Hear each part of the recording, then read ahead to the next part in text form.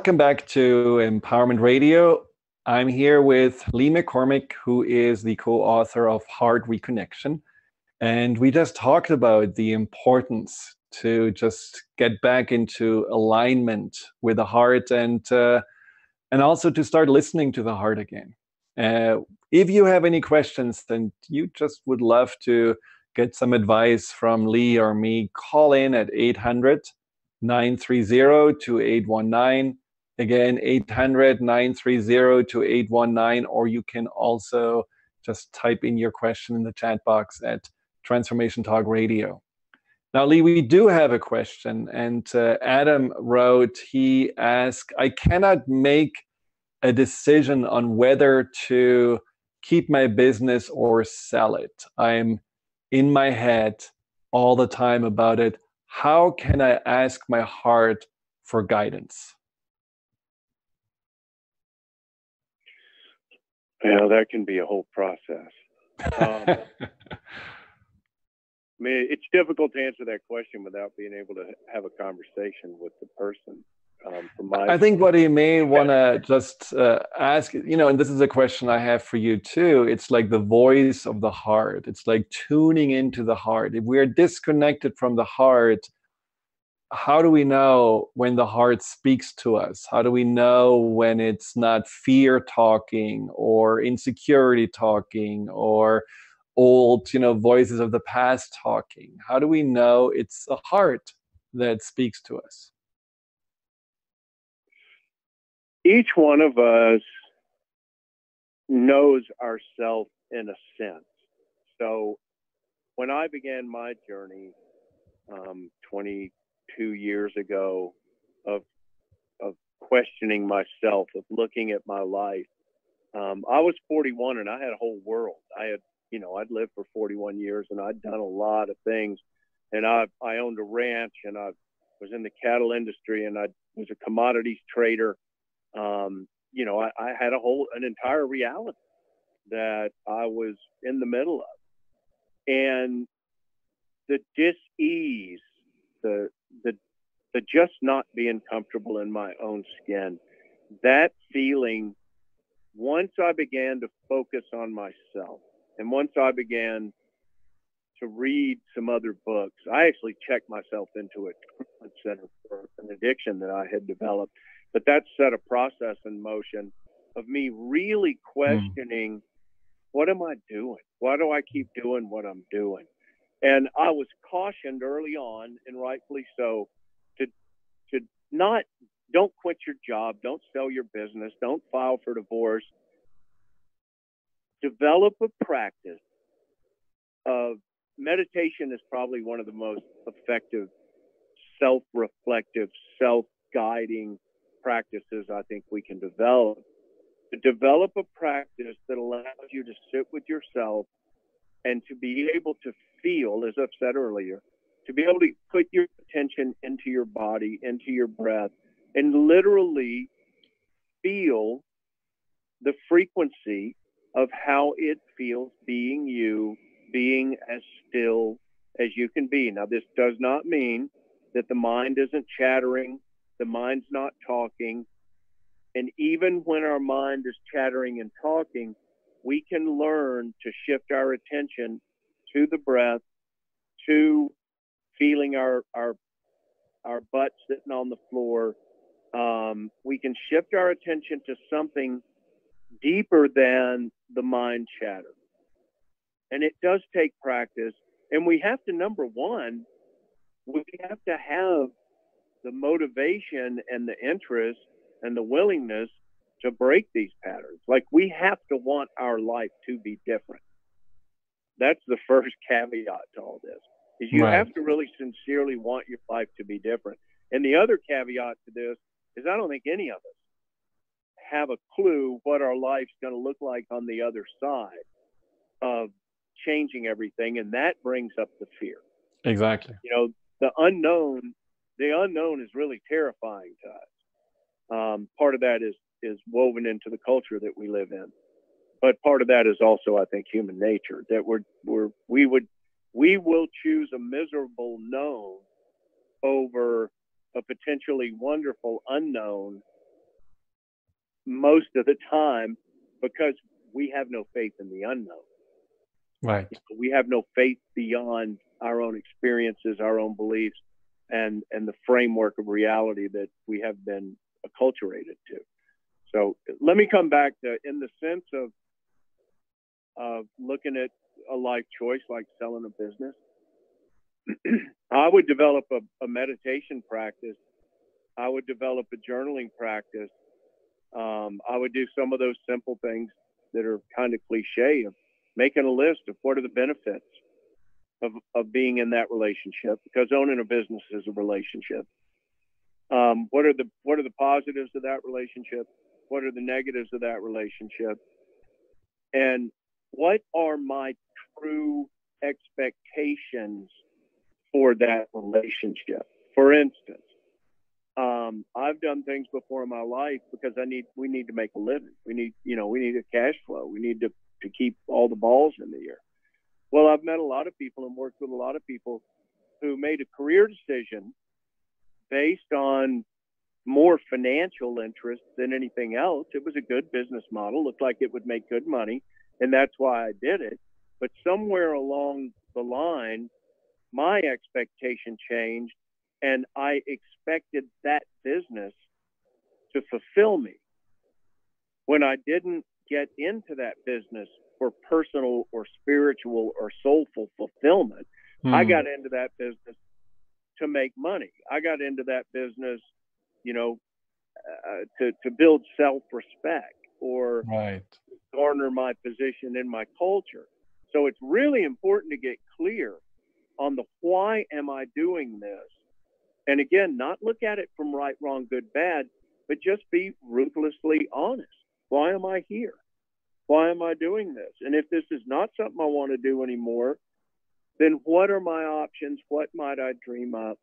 You know, where can I go creatively with my life? What's calling me? What's what's in my heart? What where is their passion for something else?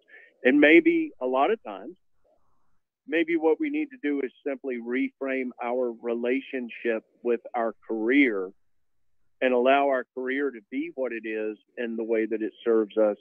And then we take time and energy to put into some other relationship in our life that actually feeds us on a soul and heart level. And I think a lot of people are probably exactly at that place where, out of necessity, out of the benefits or security, they hold on to something that doesn't necessarily feed their soul but because they're resisting it or they're struggling with it they are drained by it more than maybe it has to. And they don't necessarily look for other ways to feed themselves. Now what i'm you know hearing from you saying is about relationship how we relate to aspects of our life and and ultimately it's also the relationship to yourself. And one of the things that uh, you wrote in the book right at the beginning is about the the core issue of disconnecting from your heart is believing that who you are is not enough. And and i think that's something that then also comes into well if i'm not enough i have to prove myself or if i'm not enough i cannot really make changes and trust it's going to work out because i'm not enough or if i'm not enough i cannot just go for you know finding out what fulfills me because who I am doesn't really deserve that. And so the I am not enoughness, I think you absolutely are right, is one of the the core diseases of our uh, society that we are much more prone to believe that than we are prone or you know prone to be appreciated or celebrated just for who we are.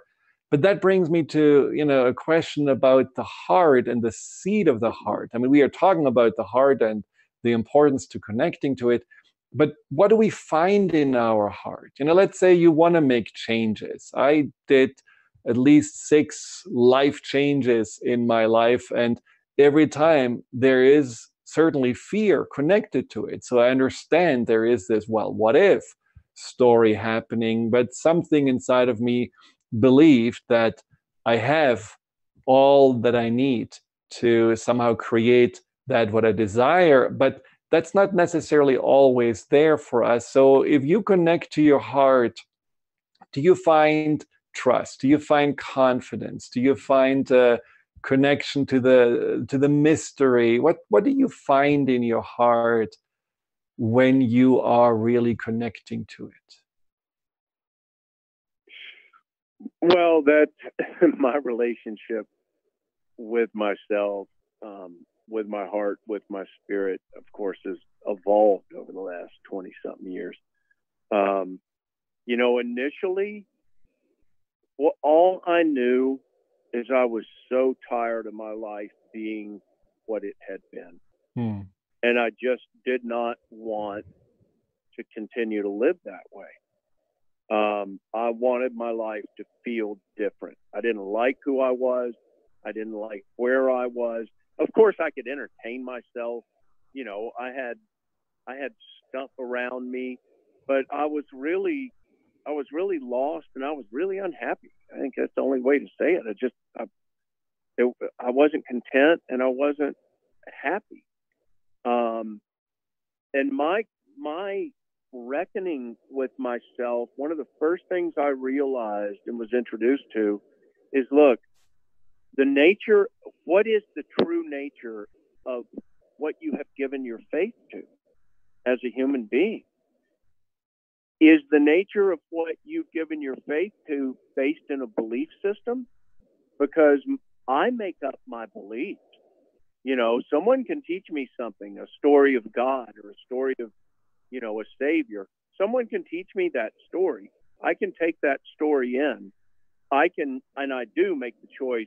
Yes, okay, I will believe this, or no, I don't believe that. Well, if I choose to believe it, the moment I choose to believe it, I am 100% responsible for having taken on that belief. And from that point forward, that's my belief. But that is a learned belief. That belief didn't come from direct experience necessarily. It right. came from someone teaching me that. Well, to have to live a relationship with our heart and spirit, our belief system and our faith needs to be reclaimed and freed up. Free my faith up from the things that I have believed in the past and allow my faith to be open and allow myself to sit with the unknown so that I might realize that the unknown is not the enemy. And the unknown, if I choose, can be of fear, or the unknown, if I choose, can be unlimited possibilities and potential. It's a matter of the story I'm telling myself and the energy that I'm putting into it. So I had to learn to sit with the unknown and to deal with all the stuff that came up as I was taking my life apart. And I had to keep bringing my attention back to, you know what? This is my life. It is 100% my responsibility. It is my choice. And I am not a victim of anything other than some cause and effect situations that happen in the course of life that, for the most part, actually are random. Um, but I had to de-roll myself from that from that victim nature that I think we all inherit a part of. We've all inherited a victim oriented script in life, and that's inherent in the culture of the United States.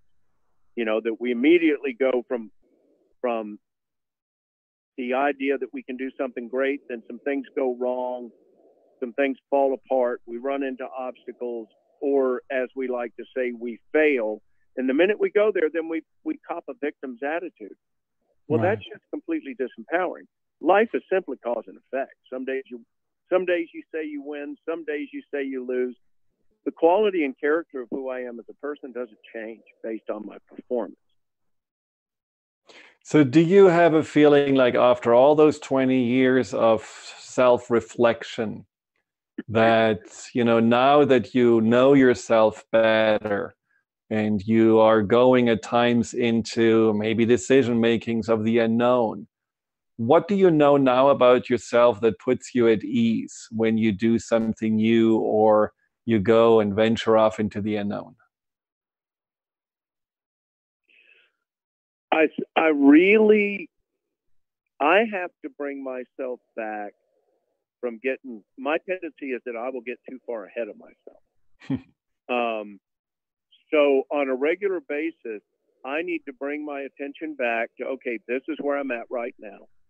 This is what's real and this is what's true right now. This is my intention for where I believe I'm headed. And then I, I immediately look up at the universe. I, I talk to God, I, however you want to phrase that. As soon as I say this is where I'm headed, then I shift my attention into the universe and say, you know, I trust you more than I trust this world. I trust the unknown more than I trust the known. And together, I believe that we can accomplish a lot of goodness here. Hmm. And so I'm always open. I'm always open to the creator, to the mystery, to the spirit people, to God, to, to whoever, you know, what, what, whoever you pray to, whoever you have a relationship with, I'm always open to them bringing something into the equation that I haven't thought of, that I'm not aware of. So I'm always mindful of not locking my expectations down so tight that I miss an invitation or an opportunity from life that, that's even greater than anything I've imagined. So I want to have a soft hold on my expectations. I don't want a, a white knuckled lockdown hold on my expectations. I always try and stay open to, to life morphing and evolving and inviting me into something greater than what my expectation was. Or which is a beautiful way of surrendering into the mystery of life. And too often our little control self says, no, surrendering is weakness, it's giving up, you shouldn't do this, you have to have a plan, you have to execute, you have to win. So we have all those patterns, but you you know, and I completely relate to that. But a lot of people may have a hard time with spirituality, with the idea of the soul, of a God, or anything greater than themselves. Can you reconnect to your heart without having any kind of a spiritual experience, or is it inevitable that you meet your soul or that greater power when you connect to your heart?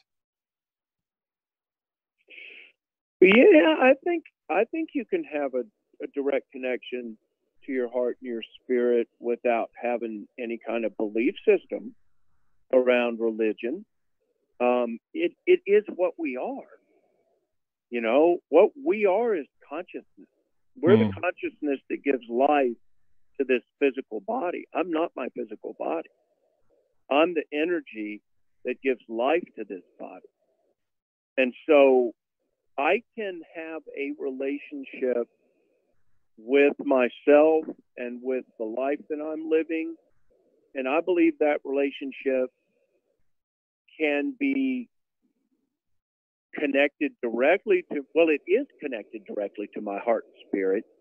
And my relationship can be also a relationship where I learn to, again, I keep saying this phrase, I learn to shift my attention back to myself, back to my my spirit, back to the presence of me and my body, and I learn to soften the hold that my mind has had on my attention, so that I can feel into my intuition. Basically, that's mm-hmm. intuition is for me is the most refined aspect of emotion. Intuition in the sorcerer's world in the old Mexican sorcerer's realm, intuition was seen as a direct link to spirit. Because we, if you know, we all have an intuitive ability. We all know what it's like to get a hit on something. You feel like something's going to happen, or or you should do this, or you shouldn't do that, and we don't act on it, and then then that event occurs, and we're like, God, I should have listened to myself. Absolutely developing the ability to hold an awareness with our intuition, with our feeling, because the body never lies. Our mind will lie because our mind's more invested in being right than it is in being happy. you know, the mind is a is a program. It's not unlike the hard drive of a computer with an operating system on it. And the mind needs constant reinforcement, constant validation. So the mind will skew the facts or the mind will twist the truth to fit what the mind has given its faith to, while our intuition and our body will always, give us a clear message of of what's actually happening within us or around us. The body never lies to you. Uh, well, in order to hear your intuition, of course, you have to take time to be quiet and tune in. And uh, and I really love what you just said about just seeing this as one of the most refined emotions and probably also one of the most important uh, guidance systems that we have in our lives. Now, unfortunately, our time is already over, which is too bad because there's so much we could talk about. So I have to have you back on on the show again uh, real soon because I have many other questions and and I love how you are sharing your wisdom. But how can people find out more about you and and the book? You can you can find the book on Amazon or at your local bookstore. And I love supporting local bookstores. So if there's a choice, please go to the, your, your local bookstore and you can order the Heart Reconnection Guidebook. Or it is also on Amazon. It's the Heart Reconnection Guidebook. Um, you can contact me through our healing program, our recovery center in Nashville. It is integrativelifecenter.com. You can go to our website and message, or you can reach me through spiritrecovery.com. Either one of those two websites. And it's all in one word, Spirit Recovery? Yes, spiritrecovery.com and integrativelifecenter.com. And I'd love to be back on. I'd love to have a conversation with you about intuition and, and your practice in medicine. Oh, wonderful. I love it. Well, we will definitely keep our paths crossing. Thank you so much for today. And I'm glad that our connection worked out. And uh, thank you for sharing all that you're doing for people that, you know, like many of us have been simply lost walking around since we haven't really listened to our heart. And your book and your work certainly helps us to find more groundedness and meaning in life again. So thank you very much. And uh, well, thank you for tuning in to everyone who has listened today. Thanks for Adam for the question you asked. Thanks, Carter, for being in the production room. And until next time, goodbye.